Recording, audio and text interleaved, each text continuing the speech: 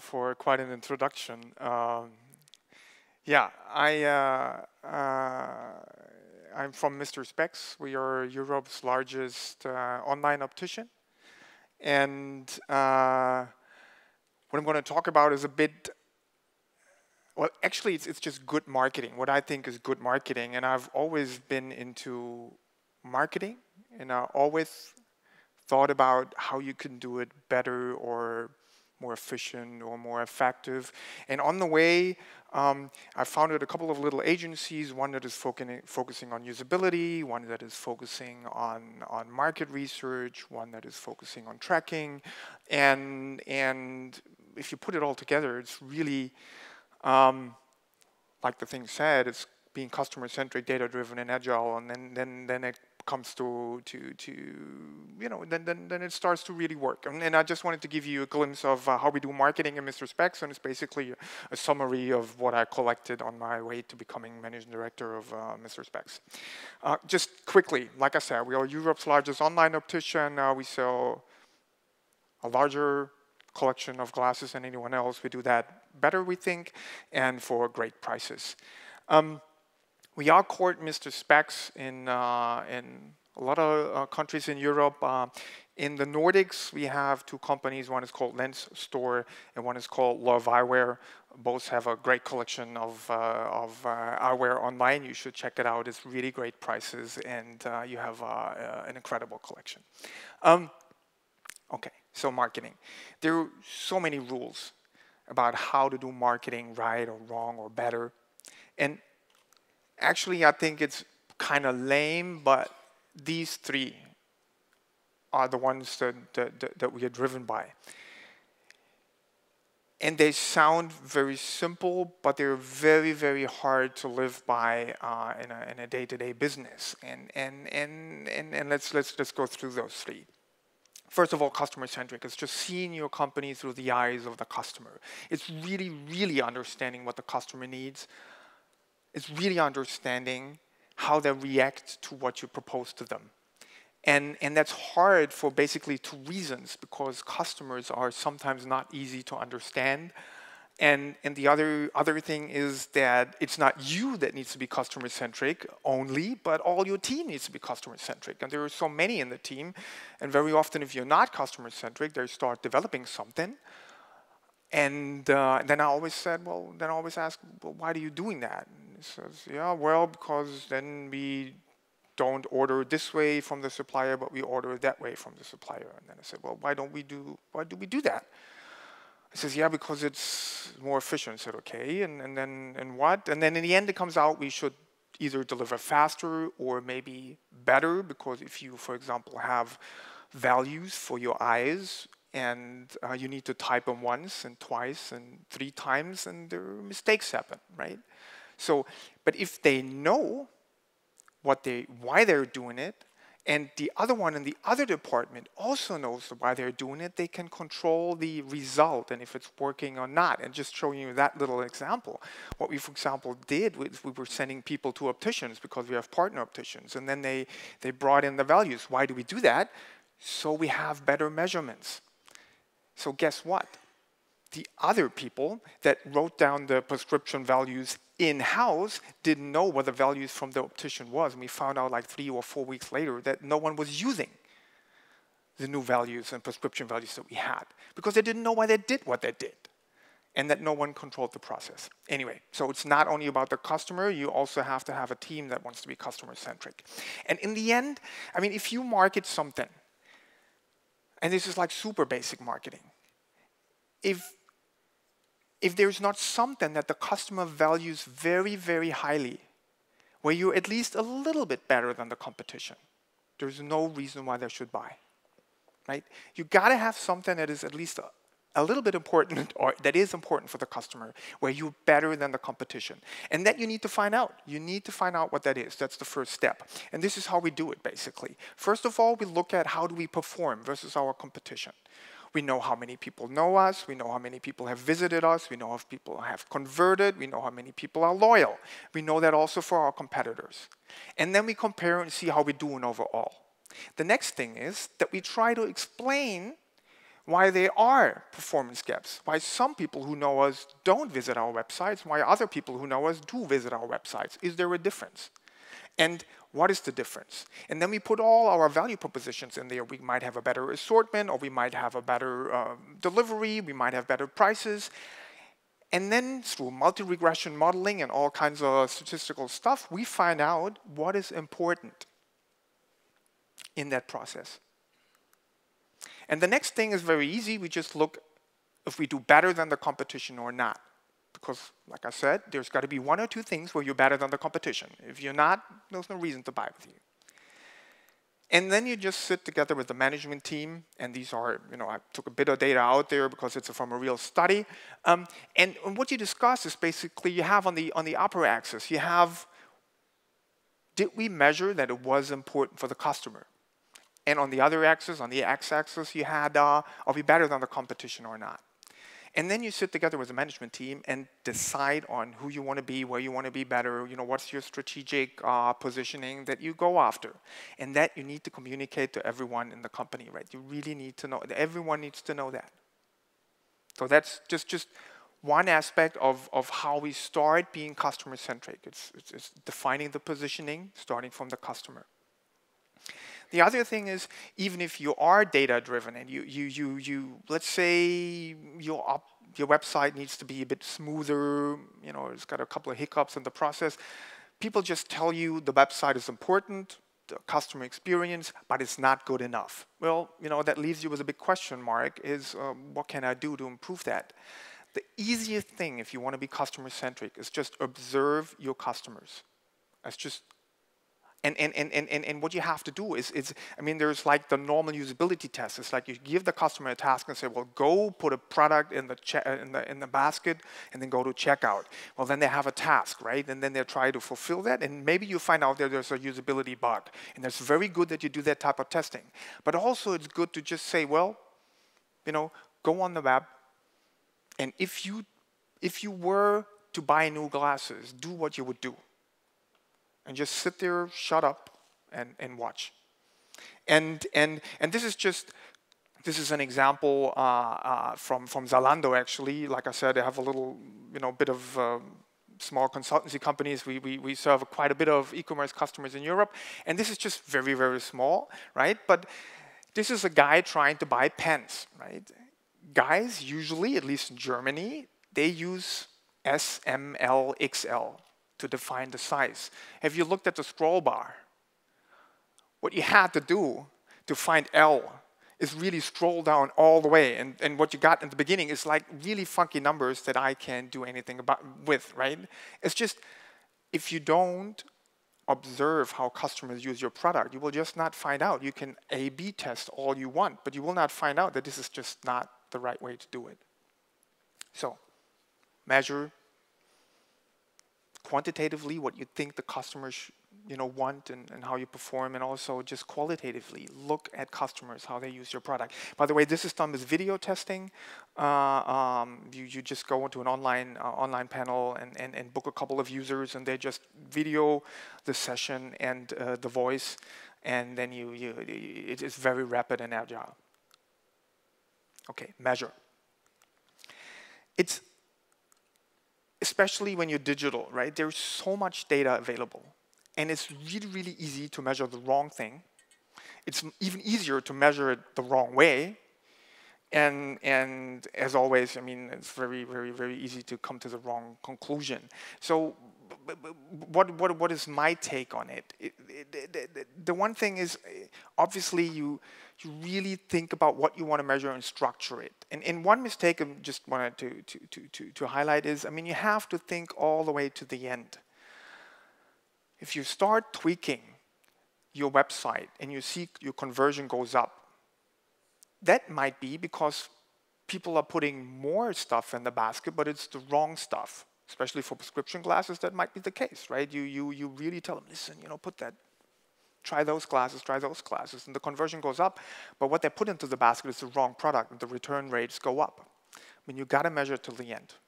In the end, you gotta you, you gotta ask yourself, what do you want to do, right? And you want it, want them to not only buy, you want them also to keep the product. So that's just one thing. Then you need to slice and dice it into all the different steps. You need to slice and dice it into all the different perspectives, right? You can do that for new customers and existing customers. You can do it for brand buyers and non-brand buyers. You can, you know, you can look at that. So, so the first thing is that you that you have a structured approach. The other thing is, and there, there and, and that is, there's two schools of thought uh, in data-driven um, management, I would say, especially in big data. The ones say, well, just analyze and correlate, and when the algorithms tell you this works better, then do it. And that's okay, but I like the other way better, which is Nah, I mean, you still, you still want to manage your business, right? You need to understand why A is better than B. Because otherwise, what happens? Like, make a very, very simple example. If you want to A-B test, right? Let's say a banner on your homepage. And you just A-B test, and you say, B is better than A. And that is what comes out of it. And we had that, we had that so much. Okay, so though, you know, what do you do? You, you, you choose banner B, right? And banner A goes to the, to the trash. But what happens next month? Right? You need to produce banner C. If you don't have a clue why banner B is better than banner A, you're back to the start. Right? You haven't learned anything. You need to A-B test B to C, but you haven't learned anything. If you want to learn, you have to have an hypothesis. A hypothesis could be, well, I think banner B works better because we show faces and prescription glasses, and it's much easier to imagine how that might look. It's better than just showing prescription glasses. So then you A-B test a couple of banners with people and prescription glasses and a couple of banners with just prescription glasses. And if the people banner works better, then I've learned something. So I think the one thing is really you need to form hypotheses before you start testing, because then you learn. The next thing is only measure what you really need. The, the, the, other big mistake is, is uh, for customer journeys, one, one, one big thing, right? Like the on-site journey of a customer, all the different touch points that he has until he buys. Um, a lot of companies, especially big companies, they invest in a tracking technology that's pretty you know, deep and powerful and everything, and then they wait 16 months until that thing is implemented and tested. And in between, they wait. And I think that's time wasted. I think if you, if, you, if you start nailing down what you want to know, there might be a quick and fast way to start measuring it on a, on, a, on a broader level, but just start working with the data. So for example, this is a customer journey, right? There's, uh, well, there's many customer journeys already, right? You could start with direct, and then, then you have a Facebook uh, hit, and then again direct, and organic, and whatever, right? If you want to start understanding all those and have the different interaction effects and, and want to want, want to know all of that, right? That might take a very, very heavy duty system and a lot of tweaking and learning and al analysis. But what you really want to know if you look at the customer journey is what is the best marketing channel for me to use, right? Shall I put a little bit more money in banner or should I put a little bit more money in SEM or um, search advertising? And and the hypothesis is that if you just measure last touch, it's just wrong, right? Because all the banner ads have more first touches, because with banner ads, I reach out to people that haven't heard of my brand yet. So they click on the banner, they learn about Mister Spex, and at the end, well, they're probably going to use direct or maybe even a voucher engine, right? So the only thing that I want to know, in the beginning, I don't want to understand anything else. I just want to know which of the channels works best. So what we did, we just pulled the raw data and said, well, let's have a look at just, for example, two channels. And SEM non-brand is all the search engine advertising campaigns that don't have Mister Spex in it, but other uh, keywords like brand, for example. And, and affiliate. And then look at how many orders we attribute to that channel if we use last touch. And in this case, it's 1,844 for search engine advertising non-brand keywords and 2,237 for affiliate. And then You just take that raw data, just for let's say for a quarter or a month or wherever you you know you just take data uh, in an Excel maybe even and, and, and just have that time frame. And then you do well what if we attribute the sale a little bit differently? What if we say the first touch gets 40% of the sale and the last touch gets 40% of the sale and all touches in between get 20 because the first one is important because the people get to know me through the first touch and the last touch is important because it really converts and makes the sale. And then you look at what happens. What happened in this case? Uh-huh. SEM non-brand got much more sales attributed and affiliate much less. That's what usually happens with affiliate because affiliates usually have voucher codes and they're at the end of the journey, and that's just what you find out. And guess what? If you do the same analysis a month later or a quarter later, the relationship between the top attribution and the last touch attribution is pretty much the same. So what did, what did we do? We just did that once with, with Excel, tried a little bit, you know, a couple of different attribution journeys, looked at how they moved. And then we said, well, listen, you know, if, if, if my marketing channel manager has a cost per order that he is allowed to spend in SEM, we just find out what he sees. He sees less. If he have a last, uh, if he has a, a, weekly last touch conversion, he sees less sales than he actually makes. So he can apply a factor of 0.82 to his CPO that he sees in his weekly reporting, and he can spend roughly 20% more order than he thought before. And so we did a quick analysis that took maybe two, three months, uh, two, three weeks, right, to tweak it in Excel. Then we found it out, and then the moment we said, okay, you can spend more and you can spend less, go. And, and without investing in, in, in super heavy-duty uh, uh, tracking technology. And I mean, there's all kinds of just uh, for the for the for the for the for the data guys of you. I mean, there's there's thousands of different different attribution models that you can discuss. I mean, I would just say, would test a few, see what what sounds logical, reasonable, and then work with what you think fits best and start right. All right there is just a third thing because I was introduced as a bit of the data guy, so I'm gonna gonna focus a little bit more on the data side of things. Um, if you start doing offline marketing, like TV or print or whatever, that's hard to measure. Why? Well, because you do stuff on TV and then you have an immediate impact on the first 10 minutes around your spot. Well, but if you take that and take the traffic from the 10 minutes and use the conversion that you have and you calculate the cost per order, it's like super, super high. Well, so then, then the marketing guy comes and says, yeah, yeah, but only 15% of the people have a second screen on their lap, right? Only 15% of the people can interact in the first 10 minutes. So let's just take it times six. So it's like, well, you know, it's not like 20% more, like six times more. You know, what's the real impact? And if you want to know the real impact of cross-channel, uh, uh, uh, like uh, of channels across the whole landscape of channels, then something like this might be helpful. So if you look at um, the gray thing, well, the, the light gray thing have been the TV cost, and the dark gray thing is the revenue through TV. This is actually when we started, in the middle is when we started doing uh, a bit more data-oriented stuff. And you saw that in the beginning, we spent quite a bit, and the needle didn't move in revenues, right? And then they're, you know, they, they started to, uh, to go into the right direction. And well, guess what? It, it, it, it, looks almost like they're correlating now. There's a correlation. So you can put it into a graph and, and see, well, you know, there, there's, there's probably a connection between how much we spend and how much revenue we make. And then you say, well, because you've learned it in, in, in, in uni or whatever, then you say, yeah, well, but if I just put one channel into the equation, um, they might you know, get a higher impact just mathematically than if I look at all channels. So you have to look at all channels, and we do that regularly. We just do regression models on how much we spend on the different channels and what's the impact.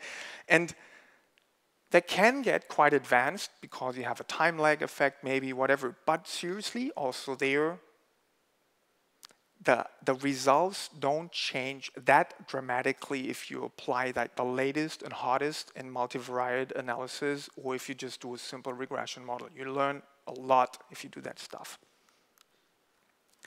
agile? Well, you know, agile is nothing more than doing your stuff iteratively, right? And, and, and what I just said uh, about uh, the customer journey approach that we choose, that was, in my eyes, that was agile because we just wanted to, to know if we have a different attribution and a different result if we do 40, 20, 40 attribution and not last touch. And I didn't need a system, I just wanted to test if it works. So I did it in Excel, we looked if it worked, we shifted the marketing budget and it worked. And, now, and then we invested in more. And that's just, that's just, you should just do that with everything, right? test small, test a bit, learn, invest in more, learn even more, etc. That is, and, and, and use scribbles. I mean, those user tests that I said, with video or not video, whatever, if you have a new idea for your website, right, just scribble it and show it to a user. It's incredible how much they tell you, even if it's just a mock-up. We even do mock-up testing for TV spots right? Why not? I mean, you spend so much on TV. Why shouldn't you test it, right? Everyone tests A/B for banners. No one tests a TV spot. I think that's a lot of money wasted very often. Um, this, for example, uh, is another thing. Um, uh, we have partner opticians. So uh, you can get an eye test. And in the beginning, we offered it digitally on our e-commerce site, but guess what? We didn't have the functionality because we didn't know if people used it, wanted to use it. So what we did is, if you look at the, the upper hand, that was a voucher, voucher a couple of, you know, time ago. We had students writing voucher codes, right? Taking them out of an Excel list. And then, so we looked digital from the outside, but then people were really writing uh, old school vouchers and sending them out. And then when, when we knew that yes, people wanted to have that eye test and they wanted to go, whatever, right? Then we did it digitally and now we have a little scan code and everything that you need, right? Um, so putting it all together. Customer-centric I mean, really try to understand the customer and form hypotheses of what you think the customer wants. Then use data-driven approaches to test if your hypotheses are wrong or right. I wouldn't just test out of the blue, have a hypothesis. Only, only test what you want to test and what you want to know. And move iteratively, right? Start with the basic questions, go to the nitty-gritty questions later, right? But don't start with the uh, nitty-gritty questions because they take maybe a long time to answer. Start with the big stuff. And, um, and that's just the same slide with different wording. Uh, uh, so uh, again, be customer centric, be data driven, and be agile. And I think there's three simple rules, very hard to follow in daily business. But if you do follow them, it's, it's highly, highly, highly, highly likely that it's going to help you quite a bit. Thank you so much. Thank you.